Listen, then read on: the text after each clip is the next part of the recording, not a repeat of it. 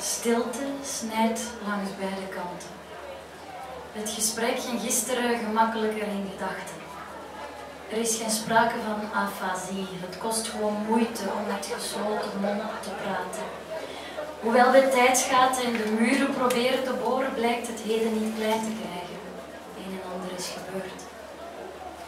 Liever een leven lang vatbaar voor verdriet dan immuun voor medemensen, beloofde ik mezelf een sombere zomerdag. Dus liggen we hier weer in hetzelfde bedje ziek. Oude wonden dichten is moeilijker dan gedacht en de nieuwe geven zich niet geronnen. Eens jij slaapt, sta ik op, strijk met mijn vingers over het spiegeloppervlak. De stilte snijdt langs beide kanten. Dit huis. In de kamers hangt een dichte mist. De schoenen dansen een gemaskeerde wals.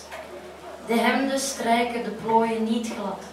Nog het vogeltje van de klok dat ik bij wijze van grap vluggelam maakte.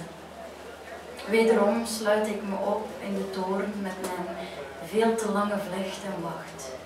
Tot de schoenen zijn gestruikeld, de nacht gevallen, dit huis tot fundamenten herdacht. Kom, verbrijzel me in je armen. Verroest me met je sappen. Dit is wat ik waard ben vandaag, een schroothoop weggegooid verdriet. Jij was mijn winterslaap, mijn zomerkamp. Heel het universum lang dacht ik dat we bij elkaar zouden blijven, maar alleen op passie draaien de motoren niet. Tussen mijn oksels wist ik al lang dat wij niet eeuwig waren. Je zal me niet meer zien, een zin als een zegel op een brief, niet het zachte wegsluipen van een dief, maar een slag in een slapend gezicht, patsboem. Ik had je nog lief. Onze eerste nacht leek een bloem die zich prachtig ontvouwen ging. Maar alle vrouwen weten dat ook mannen verwelken, dat ook elke vreugd doenrust, sluimerend en slapend en stil, als in het sprookje van Dornroosje, waarin de prins het meisje wakker kust met een ongeschoren wang na een eindeloze nacht in de armen van een ander. Het is niet het schuur waarvan je schrikt, nog de gapende geur van ontucht, maar zijn blik op oneindig gericht.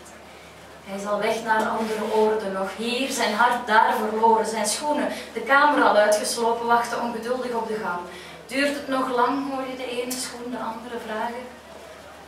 Dit was ooit de man waar je groene valleien, woeste watervallen en vooral ook kinderen in zag.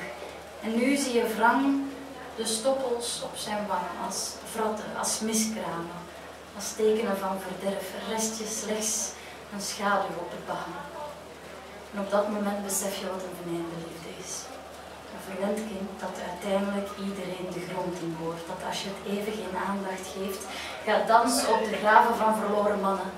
En op het kerkhof van je leven overschouw je wat je hebt gekoesterd en verzameld en daarmee gestikt en begraven. Nooit meer zal ik verliefd worden, fluisterde verheven.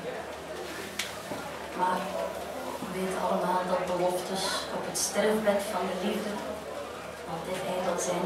We weten allemaal dat we sinds het verlaten van de moederschool tot aan de dood zullen zoeken naar die ander, om niet alleen onze eigen hartenklop te hoeven horen. We weten alleen, allemaal dat de liefde steeds opnieuw wordt geboren. We weten alleen niet wanneer. Een weken te vroeg, op tijd of een leven te laat.